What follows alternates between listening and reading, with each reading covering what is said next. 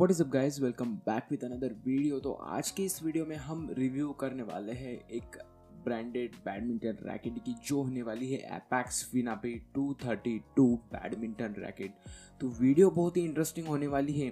तो वीडियो को अंत तक ज़रूर देखना और आपने अभी तक चैनल को सब्सक्राइब नहीं किया होगा तो चैनल को भी सब्सक्राइब कर लीजिए।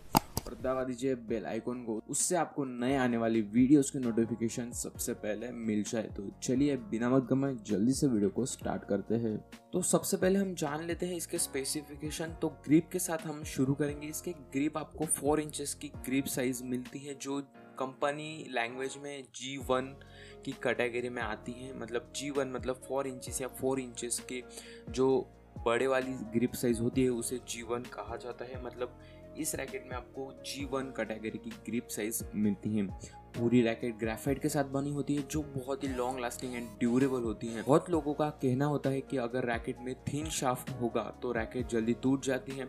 तो उन लोगों के लिए ये बहुत ही प्लस पॉइंट होने वाला है कि इस रैकेट में थिकर शाफ्ट है। थोड़ा शाफ्ट इसका ठीक है तो उससे आपको एक प्लस पॉइंट होने वाला है। तो एरोडायनेमिक डिज़ाइन के साथ आपको ये रैकेट देखने के लिए मिल जाती है, जो देखने में बहुत ही खूबसूरत लगती हैं। ये रैकेट आपको स्टिफ फ्लेक्स के साथ मिलती है, जो डिफेंस के लिए बहुत ही बेहतरीन होता है। अगर आपके रैकेट का फ्लेक्स ज़्यादा फ्लेक्सिबल हुआ तो अटैकिंग के लिए बहुत ही फ़ायदेमंद होता है। और अगर आपके रैकेट का शाफ्ट अगर स्टिफ फ्लेक्स हुआ तो वो डिफेंस के लिए बहुत ही बढ़िया होता है। उससे आपको जो डिफेंसिंग में जो स्पीड होने वाली है आपकी डिफेंस करने के लिए, वो बहुत ही बढ़ जाती है in comparison to flexible shaft में।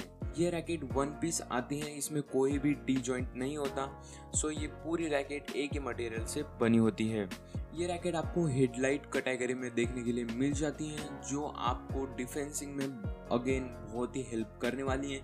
जो लोग डबल्स खेलना प्रेफर करते हैं, उनके लिए एपेक्स फिनापे 232 एक बेस्ट ऑप्शन होने वाला है। तो इस रैकेट की जो बाइंग लिंक है, वो आपको नीचे डिस्क्रिप्शन में मिल जाएँगी। वहाँ से आप इस रैकेट को बाय कर सकते हैं ऑफर्स में। डबल्स के लिए ये रैकेट बहुत ही अच्छी है। और इस रैकेट के साथ आपको लाइट हेड मिलता है, जो अगेन डिफेंस के लिए बहुत ही अच्छा होता है। तो डबल्स में ज़्यादा अटैक एंड डिफेंस के ही काम होते हैं। तो डबल्स के लिए ये रैकेट बहुत ही बेस्ट ऑप्शन होने वाली है सत्रह सौ, सोलह सौ रुपीज़ के प्राइस रेंज में।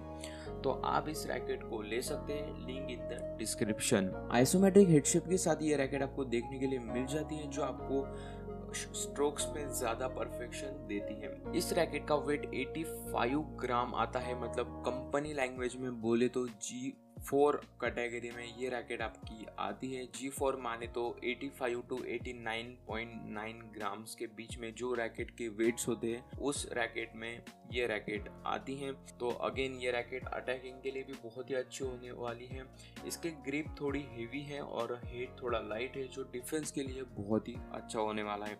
आप इस रैकेट को मैक्स टेंशन 38 एल तक लगवा सकते हैं, जो बहुत ही मतलब बहुत ही ज़्यादा मैक्स टेंशन है, जो कोई भी नहीं लगाता। आप अगर इस रैकेट में 28 टू 32 एल तक भी लगा लोगे तो आपके लिए ये बहुत ही बेहतरीन हो सकती है।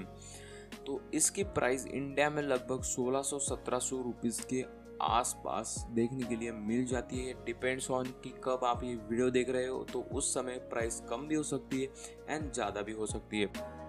तो ये था रैकेट का रिव्यू अगर आपको वीडियो पसंद आई होगी तो वीडियो को एक लाइक ज़रूर कर देना। चैनल का अभी तक सब्सक्राइब नहीं किया होगा तो चैनल को भी सब्सक्राइब कर लीजिए, क्योंकि हम ऐसी नई नई वीडियोस आपके लिए लाते रहते हैं। तो मिलते हैं नेक्स्ट वीडियो में। Till then bye take care have a nice day